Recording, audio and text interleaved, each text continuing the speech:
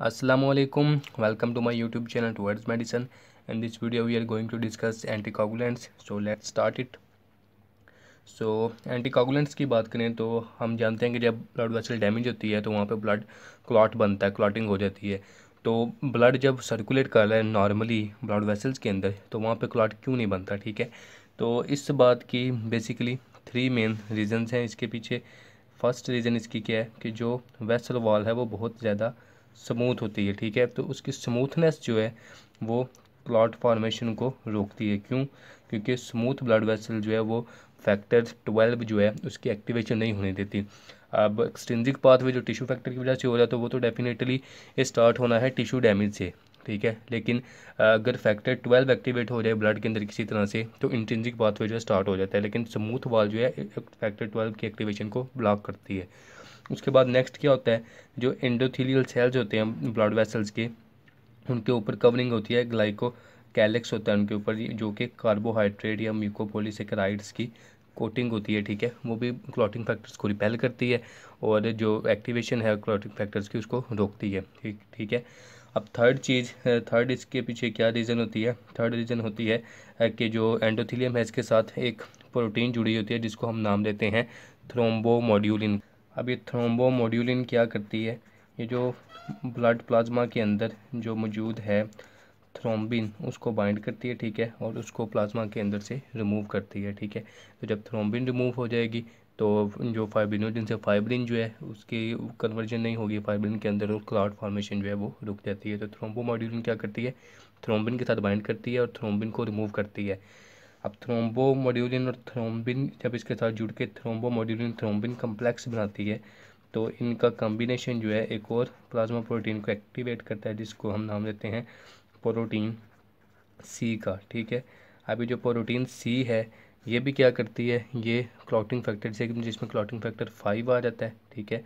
और clotting factor eight आ जाता है, ठीक है? ये फाइव और एट को इनएक्टिवेट कर देती है। एक्टिवेटेड फाइव और एक्टिवेटेड एट को इनएक्टिवेट करती है। उससे भी ब्लड क्लॉट फॉर्मेशन जो है वो रुक जाती है। तो थ्री मेन रीज़न है जिसकी वजह से ब्लड के अंदर क्लॉटिंग नहीं हो रही। जब ब्लड जो है वैसल के अंदर स्मूथली रन कर रहा है, एक स्मूथनेस वैसल वॉल की, उसके बाद ग्लाइकोकैलिस वैसल वॉल पे, उसके बाद एंडोथिलियम की मेम्ब्रेन के साथ जुड़ी हुई थ्रोम्बोमोड्यूलिन ठीक है? उसके बाद थ्रोम्बोमोड्यूलिन थ्रोम्बिन कम्प्लेक्स से एक्टिवेट होने वाली प्रोटीन सी जो फैक्टर फाइव एट को इनएक्टिवेट कर देती है। अब जब वेसल वाल डैमेज हो जाती है तो वेसल स्मूथ भी नहीं रहती ग्लाइकोकैलिक्स भी उतर जाता है थ्रोम्बोमोड्यूलिन भी उतर जाती है वेसल वाल से तो फिर फैक्टर जो है एक्टिवेट हो जाते हैं और क्लॉटिंग का प्रोसेस जो है स्टार्ट हो जाता है। अब आते हैं नेक्स्ट क्लॉट की रेगुलेशन पे। क्लॉट फॉर्मेशन जो है, उसको रेगुलेट भी किया जा रहा होता है। कहीं ऐसा ना हो कि क्लॉट जो पूरी ब्लड वेसल के अंदर ही क्लॉट बन जाए और ब्लड फ्लो जो है टिश्यू तक वो रुक जाए, ठीक है? तो इसको, इसका चेक एंड बैलेंस किसके पास होता है? इसका चेक एंड बैलेंस एक तो होता है फाइब्रिन के पास, ठीक है? जो फाइब्रिन फाइबर जो है क्लॉट के अंदर बाँध रहे होते हैं। एक उसके पास होता है और एक दूसरी प्रोटीन होती है एंटी थ्रोम्बिन थ्री, ठीक है? अब फाइब्रिन क्या करती है?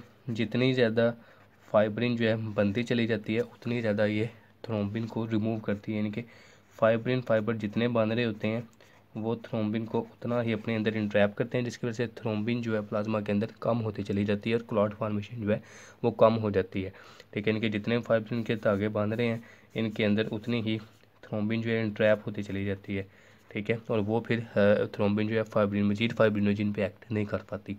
दूसरा रोल है एंटी थ्रोम्बिन थ्री का एंटी थ्रोम्बिन थ्री का, ये भी क्या करती है? थ्रोम्बिन के साथ बाइंड करती है और थ्रोम्बिन को इनएक्टिवेट कर देती है। तो इस तरह क्लॉट फॉर्मेशन जो है वो ज़रूरत से ज़्यादा जो है प्रोसीड नहीं करती, ठीक है? अब अगर कुछ क्लॉट जो है बन गया मिसाल के तौर पर ये ब्लड वैसल थी, ठीक है, इसके अंदर यहाँ पे ओपनिंग हुई है तो इस तीन जगह पे क्लॉट बनना चाहिए था, लेकिन क्लॉट जो है इतना बड़ा क्लॉट बन गया, ठीक है? अब काफ़ी बड़ा क्लॉट बन गया। अभी जो इजाफी क्लॉट बना, बनना इतना चाहिए था छोटा सा, लेकिन बड़ा क्लॉट बन गया। अब जो इजाफी क्लॉट बना है, इसको तोड़ना, फोड़ना ज़रूरी है, ठीक है? इसको उतारना यहाँ से ज़रूरी है। तो इसके लिए प्रोटीन होती है एक। इसको हम नाम लेते हैं प्लाज्मिनोजिन का, ठीक है? अब प्लाज्मा प्रोटीन है, इसको भी लीवर सिंथिसाइज करता है, ठीक है? अब प्लाज्मिनोजिन को, इसका दूसरा नाम प्रो फाइब्रिनोलाइसिस भी होता है। प्रो फाइब्रिनो प्रो ठीक है?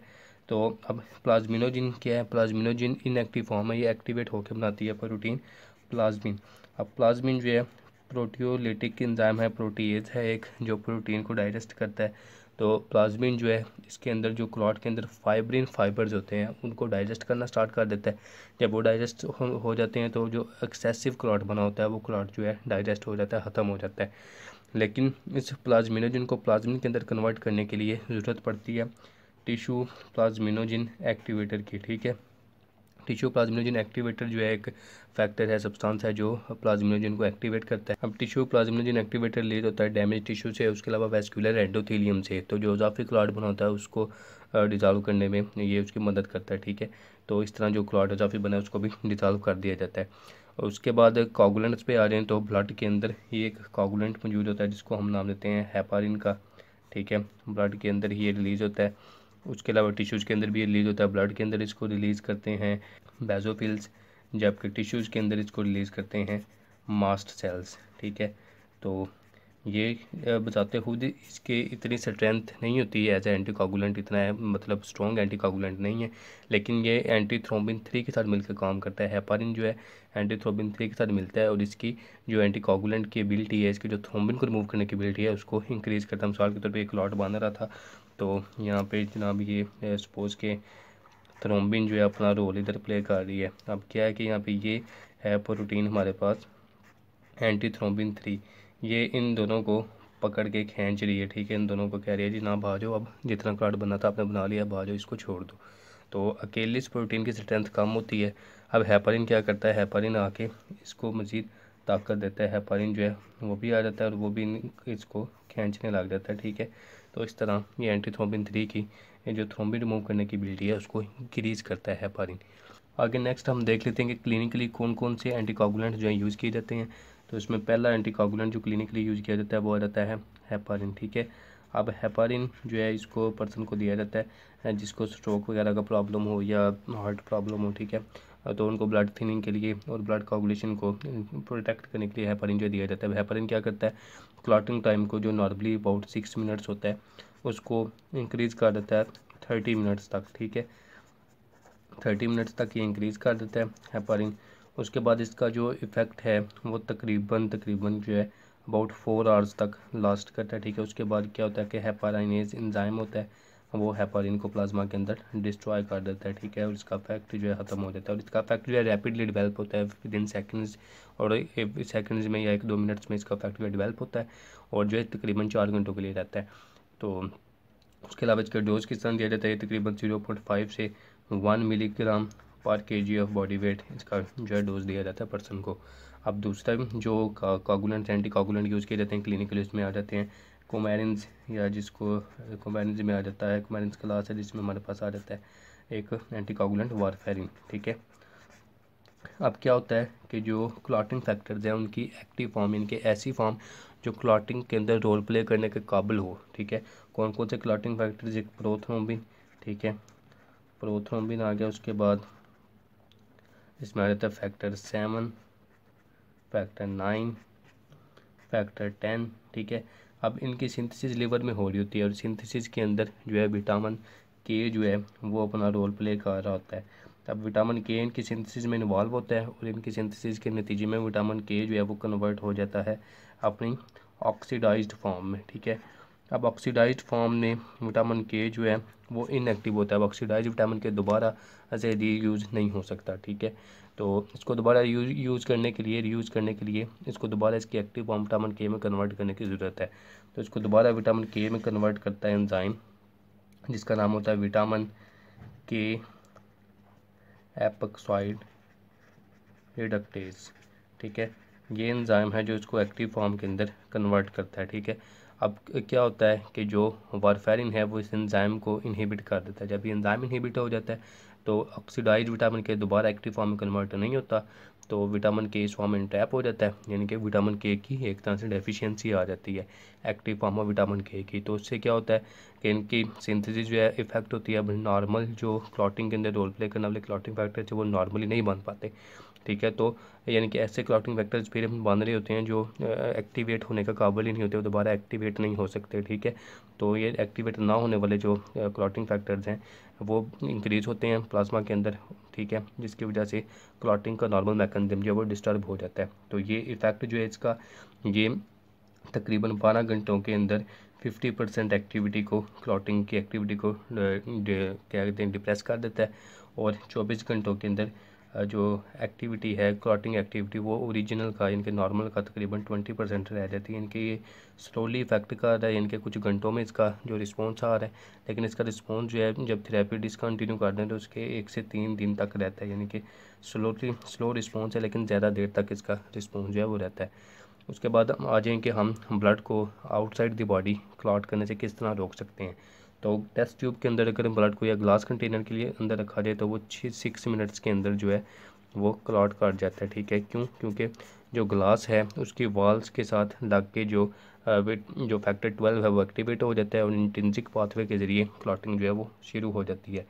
अब इसको प्रोटेक्ट करने के लिए एक तरीका होता है कि सिलिकॉन्स के कंटेनर जो है, उसके अंदर रखा जाता है कि ऐसी कंटेनर के अंदर या ऐसी बॉटल के अंदर रखा जाता है जो सिलिकॉन की बनी होती है। अब सिलिकॉन की सरफेस क्या है कि वो फैक्टर ट्वेल्व की एक्टिवेशन नहीं होने देती, जिसकी वजह से इंट्रेंसिक पाथवे जो है वो नहीं होता। तो सिलिकॉन कंटेनर में रखने से जो क्लॉटिंग टाइम है वो एक घंटा या इससे ज़्यादा तक जो है इंक्रीज़ हो जाता है। आगे नेक्स्ट देखते हैं कि ब्लड को आउटसाइड द बॉडी क्लॉट करने से किस तरह रोका जाता है। तो जो यूजली सर्जिकल प्रोसीजर होते हैं, जिसके अंदर जो ब्लड है, वो हार्ट लंग मशीन में से गुजर रहा है या डायलिसिस के अंदर बॉडी के बाहर जो ब्लड है उसमें मूव कर रहा है। तो उसके अंदर ब्लड को बॉडी के बाहर मशीन के अंदर क्लॉट करने से रोकने के लिए हेपारिन जो है, वो यूज़ किया जाता है, ठीक है? उसके अलावा ब्लड को लॉन्ग टाइम के लिए स्टोर करने के लिए क्या किया जाता है कि ब्लड के अंदर से कैल्शियम को, जो आयनाइज कैल्शियम है, ठीक है? आयोनाइज कैल्शियम उसको रिमूव कर दे देता है। कैल्शियम को हमने देखा था कि इंटेंजिक और एक्सटेंजिक पाथवे दोनों में रोल प्ले कर रहा था तो अगर कैल्शियम निकाल लिया जाए तो ब्लड जो है क्लॉट नहीं कर सकता। तो क्या किया जाता है कि ब्लड को ट्रीट किया जाता है सिट्रेट के साथ। अब आयोनाइज कैल्शियम है, ठीक है, इसको सिट्रेट के साथ ट्रीट किया जाता है। सिट्रेट पे नेगेटिव चार्ज होता है, ठीक है तो वो कैल्शियम सिट्रेट बना देता है, ठीक है। अब कैल्शियम सिट्रेट पे चार्ज नहीं होता। तो ये आयनाइज कैल्शियम जो है ब्लड से ख़त्म हो जाता है। सिट्रेट के साथ ट्रीट करके आयनाइज कैल्शियम जो है कम हो जाता है। ठीक है, उसके अलावा ऑक्जोलेट से भी इसको ट्रीट किया जा सकता है। कैल्शियम को ऑक्जोलेट से ट्रीट करें तो उससे भी कैल्शियम का चार्ज जो है ख़त्म हो जाएगा। तो कैल्शियम ऑक्जालेट बन जाता है। तो इस तरह आयनाइज कैल्शियम जो है इसको आप रिमूव कर सकते हैं सिट्रेट और ऑक्जालेट को यूज़ करके। अब सिट्रेट जो है सोडियम सिट्रेट भी यहाँ पे यूज़ किया जा सकता है अमोनियम सिट्रेट किया किया जा सकता है पोटाशियम सिट्रेट किया जा सकता है। मिसाल के तौर पे calcium C A two positive है, ठीक है, इसको सोडियम सिट्रेट से रिएक्ट करवा दें, ठीक है सोडियम सिट्रेट से तो सोडियम को कैल्शियम रिप्लेस करके यहाँ पे बना देगा कैल्शियम सिट्रेट ठीक है, और सोडियम इसी तरह आ जाएगा, ठीक है रिएक्शन ये करने की ज़रूरत नहीं है, ना बुक में दिए हुए हैं, ठीक है जस्ट अपने कंसेप्ट के लिए कि कैल्शियम सिट्रेट से मिलकर कैल्शियम सिट्रेट बना रहा है ऑक्जेलेट से मिलकर कैल्शियम ऑक्जेलेट बना रहा है, दोनों न्यूट्रल कंपाउंड्स होते हैं, क्योंकि सिट्रेट और ऑक्जेलेट नेगेटिव कंपाउंड्स होते हैं तो इस तरह आयनाइज कैल्शियम जो है वो ख़त्म हो जाता है कम हो जाता है प्लाज्मा के अंदर से। तो इसके नतीजे में क्लॉटिंग जो है नहीं होती। अब जो ब्लड स्टोर किया जाता है बॉडी के अंदर लॉन्ग टाइम के लिए अबाउट वन मंथ के लिए, वो सेट्रेटेड या ऑक्जलेटेड फॉर्म में किया जाता है। लेकिन ऑक्जलेट वो जो है, ये बॉडी के लिए डैमेजिंग है बॉडी टिश्यूज़ को डैमेज करता है। ठीक है, इसलिए ऑक्जलेट के बजाय ज़्यादा सिट्रेट यूज़ किया जाता है। इनके जो कंटेनर होता है, इनके जो बैग होता है, जिसके अंदर ब्लड को स्टोर किया जा रहा है, उसके अंदर सिट्रेट डाल दिया जाता है। तो सिट्रेट कैल्शियम को रिमूव करके उसकी क्लॉटिंग को प्रोटेक्ट करता है, ठीक है? और जो उसका स्टोरेज टाइम है ब्लड का, वो इंक्रीज़ हो जाता है। अब सिट्रेट फॉर्म में सिट्रेटेड ब्लड जो है बॉडी को दिया दिया जाए तो क्या होता है? अबाउट फाइव हंड्रेड एम जो है सिट्रेट से ट्रीट किया हुआ ब्लड बॉडी को दे सकते हैं। अब सिट्रेट जो बॉडी के अंदर जाएगा तो बॉडी के अंदर भी कैल्शियम को डिप्रेस करेगा, ठीक है? लेकिन क्या होता है कि सिट्रेट को रैपिडली लीवर जो है, इसको ग्लूकोज के अंदर कन्वर्ट कर देता है या इसको मेटाबलाइज करके इसे एनर्जी बना लेता है, ठीक है? अगर लीवर नॉर्मली फ़ंक्शन कर रहा है तो पाँच सौ एम तक सिट्रेट सिट्रेट ट्रीट किया गया ब्लड पर्सन को दिया जा सकता है। लेकिन अगर लीवर डिज़ीज़ है बंदे को तो फिर क्या होगा कि सिट्रेट जो बॉडी के अंदर जाएगा, वो ग्लूकोज के अंदर कन्वर्ट नहीं होगा मेटाबलाइज नहीं होगा तो वो कंटिन्यूसली बॉडी के कैल्शियम आयन को डिक्रीज़ करता चला जाएगा, जिसकी वजह से पर्सन को टैटनी हो सकती है, ठीक है? उसके अलावा उसका कैल्शियम लेवल इतना कम हो जाएगा कि वो स्मूथ मसल की कंट्रैक्शन को अफेक्ट कर सकता है, ठीक है? हार्ट मसल को अफेक्ट कर सकता है, ठीक है? उसके अलावा उसके बाद आ जाता है कि ब्लड क्लॉटिंग टाइम उसका बहुत ही ज़्यादा इंक्रीज़ हो जाएगा। अगर माइनर काट लग तो ब्लड क्लॉट नहीं करेगा। तो इस तरह इस कॉम्प्लिकेशन उसके अंदर अराइज करेंगी। सिट्रेट की यूज़ सिट्रेट के यूज़ से अगर लीवर जो है उसका डैमेज है। आगे बुक पे आ जाएँ तो बुक पे यहाँ पे जो इंडोथीलियर सरफेस की प्रॉपर्टीज़ थी, वही बयान की गई हैं। स्मूथनेस है ग्लाइकोकैलिक्स है, उसके बाद थ्रोम्बोमोड्यूलिन प्रोटीन सी का बताया गया है। ठीक है, उससे ऑनवर्ड आ जाए तो एंटी थ्रोबिन अगर एंटी थ्रोबिन थ्री का रोल है और फाइब्रिन का रोल है थ्रोबिन को रिमूव करने में, ठीक है। नेक्स्ट यहाँ पे हेपारिन के बारे में बताया गया, ठीक है। हेपारिन जो है ब्लड के अंदर अहम रोल प्ले कर रहा है क्लॉटिंग को प्रोटेक्ट करने में, ठीक है। ये क्या करता है एंटीथ्रोबिन थ्री की एक्टिविटी को इंक्रीज़ करता है। उसके अलावा हेपारिन और एंटीथ्रोबिन थ्री का कम्प्लेक्स जो है, वो अदर फैक्टर्स को, जिसके अंदर फैक्टर ट्वेल्व है अलेवन है टेन है नाइन है, ठीक है, इनको भी जो है इनएक्टिवेट करने में अहम रोल प्ले करते हैं, ठीक है। उसके बाद आ जाएँ तो यहाँ पे बताया गया मास्ट सेल जो है, टिश्यूज़ के अंदर वो हेपरिन रिलीज़ कर रहे हैं, ब्लड के अंदर जो है बेजोफिल जो है रिलीज़ करते हैं। उसके बाद मास्ट सेल जो है बंडेंट होते हैं लंग्स के अंदर, उसके अलावा लीवर के अंदर भी लंग्स से तो कम होती है इनकी क्वांटिटी, लेकिन लीवर के अंदर भी अच्छे खासे पाए जाते हैं। क्यों? क्योंकि इन दो प्लेसेस पे जो क्लाट बाँध रहे होते हैं, वो बॉडी के ज़्यादा रीच करते हैं, ठीक है? तो वहाँ पे ये क्लाट जो बाँध रहे होते हैं, उनको डिज़ोल्व करने में रोल प्ले करते हैं।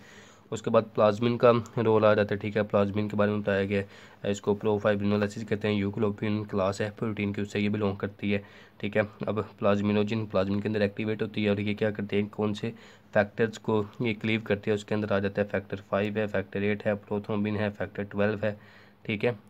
इनको ये क्लीव करने में अहम रोल प्ले करती है। उसके बाद क्या है कि इसको एक्टिवेट करने के लिए टिश्यू प्लाज्मिनोजिन एक्टिवेटर की ज़रूरत पड़ती है, जो रिलीज़ हो रहा है एंडोथिलियम से, उसके अलावा इंजर्ड टिश्यू से, ठीक है? तो ये बॉडी के अंदर या छोटी ब्लड वेसल के अंदर क्लॉट बनने से रोकती है, ताकि वो छोटी छोटी ब्लड वेसल्स को जो है ब्लॉक ना कर दें। आगे यहाँ पे आ जाए एंटीकोगुलेंट्स पर क्लिनिकल यूज़ ठीक है? तो इसमें हेपारिन आ गया। हेपारिन का डोज दिया हुआ ज़ीरो पॉइंट फाइव से वन मिलीग्राम उसके बाद सिक्स मिनट से थर्टी मिनट्स तक ये इंक्रीज़ कर देता है क्लॉटिंग टाइम और इसका एक्शन जो है चार, डेढ़ से चार घंटे तक जो है वो रहता है। उसके बाद कोमारेंस का बताया गया कि vitamin K epoxide reductase complex one enzyme की इन्होंने शॉर्ट फॉर्म लिखी हुई है।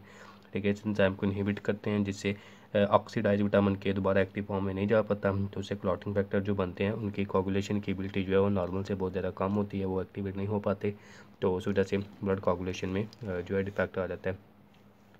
उसके बाद आ जाता है कि prevention of blood coagulation outside the body तो इसमें पहली बात उन्होंने सिलिकॉन कंटेनर्स की की हुई है, ठीक है?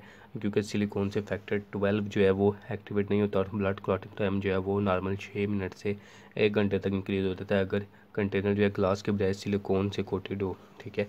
उसके बाद हेपारिन जो है वो यूज़ किया जाता है। हेपारिन मोस्टली ऑपरेशन के दौरान हार्ट की सर्जरी हो रही है, ठीक है, या किडनी का कोई किडनी की सर्जरी या डायलिसिस वगैरह हो रहा है तो उस केस में जो है हेपारिन को यूज़ किया जाता है। उसके बाद आ जाता है जो कैल्शियम आयन को कम करना आयनाइज कैल्शियम को किसके ज़रिए सिट्रेट या ऑक्सीलेट के ज़रिए, उसकी बात की गई है। उसके बाद बताया कि ऑक्सीलेट जो है टॉक्सिक है बॉडी के लिए तो इसलिए सिट्रेट जो है वो यूज़ किया जाता है। इसको इंट्रावेनसली भी इंजेक्ट किया जाता है। अगर किसी के ब्लड थिनिंग करनी है कि स्ट्रोक का पेशेंट है या हार्ट का पेशेंट है, उस केस में या किसी को अगर ब्लड ट्रांसफ्यूज़ करना है तो जो स्टोर्ड ब्लड होता है स्टोर्ड ब्लड के अंदर से ट्रेड यूज़ किया जाता है तो 500 हंड्रेड जो है वो ब्लड जो है उसको ट्रांसफ्यूज़ किया जा सकता है। लेकिन उससे कोई कॉन्सिक्वेंसेज हार्मफुल कॉन्सिक्वेंसेज नहीं आएँगे, अगर उसका लीवर जो है वो नॉर्मली फ़ंक्शन कर रहा होगा। लीवर डिज़ीज़ है उसके अंदर तो फिर कैल्शियम का जो है बहुत ज़्यादा कैल्शियम का लेवल जो है बहुत ज़्यादा कम हो जाएगा जैसे टैटनी आएगी, क्योंकि टैटनी के अंदर जो नर्व फाइबर है वो बहुत ज़्यादा एक्साइट हो जाते हैं मसल जो है तो वो कॉन्टीन्यूसली जो है कंटैक्ट करते चले जाते हैं, और अगर रिस्पायरेटरी मसल जो है कंटैक्ट करें तो ये लिथल हो सकता है।